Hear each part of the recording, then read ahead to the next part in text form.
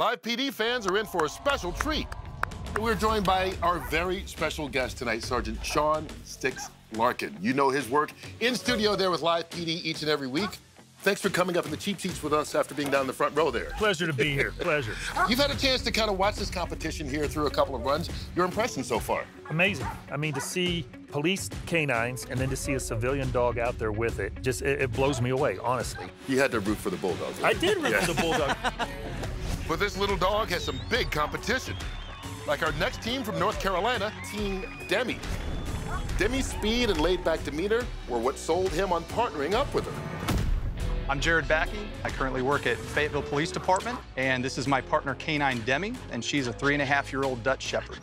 People might recognize me from Live PD Presents Women on Patrol. I can remember meeting Demi for the first time, and I said, that's the one I want. And she's turned out to be the best decision I could have made. Watch out, because Team Demi is going to take this trophy home to Fayetteville, North Carolina. All right, Sticks, you must be rooting for this live PD team.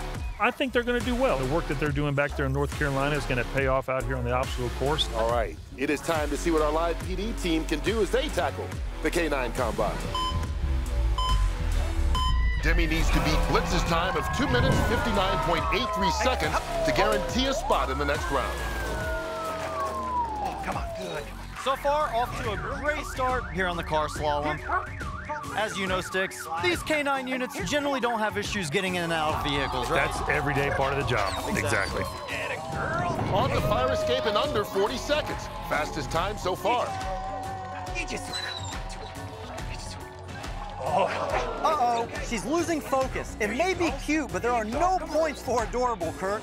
If the dog can't pull down the door, after 30 seconds, the handler can do it. Oh, what a bummer. When Demi goes back and looks at the tape, she's not going to like it. After another 30-second struggle, Officer Backey pulls down the door. They can't escape the fire escape. And again, 30 seconds on level three. Demi's struggling here. I would ask you what you would do in this situation, Sticks. This is not my territory. I can tell you my answer. I'm going to get on the radio. I'm going to call for a canine officer. Okay, there you go. That's, that's what I'm going to do. They lost time on fire escape, now over two minutes. Atta girl. Can they make up the time? Good girl. Come on. There's that Dutch oh, Shepherd speed. Quick through high jump. Good girl. Hey, no problem with the rope bridge. That was their best move just yet. Demi's found her focus and is making up time. She's loving the water. Maybe because it's not a fire escape. Now a strong doggy paddle sprint to the finish. Team Demi finishes the combine in a time of 3 minutes 9.93 seconds. We're all wondering who will be that fourth dog. Moving on to round two. Will it be Team Demi, who just ran, or might it be our final team? Coming to us all the way from the police department in Montgomery, Alabama, it's our youngest team tonight, Team Scoot. They're here to prove they're just as wise as any other team, and age is just a number. My name is Officer Alex Lindsay. I work for the Montgomery Police Department in Alabama. This is my partner, Scoot. He is a Belgian Malinois, and we've been partners for a little over a year now. Scoot just likes to run full force as fast as he can, which is amazingly fast. Being young and competitive, Team Scoot's gonna obliterate the competition.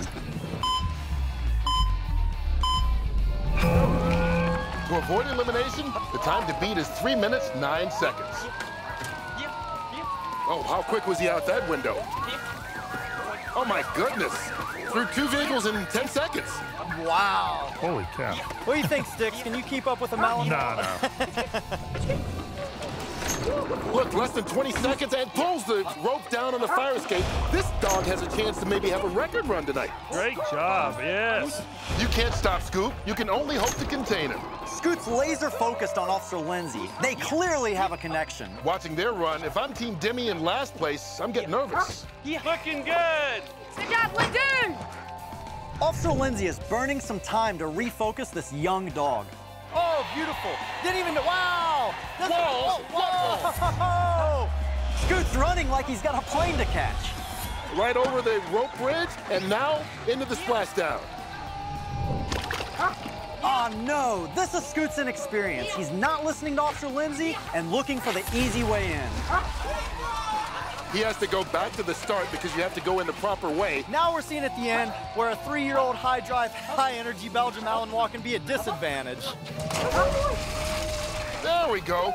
Now that he's in the pool, it looks like they're going to advance.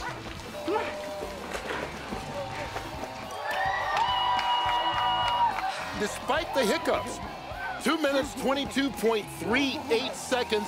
This is the second fastest time tonight and only three seconds slower than Team Murphy. Unfortunately, that eliminates Team Demi. Want more America's Top Dog? Subscribe to A&E for new videos uploaded every week and catch full episodes on aetv.com.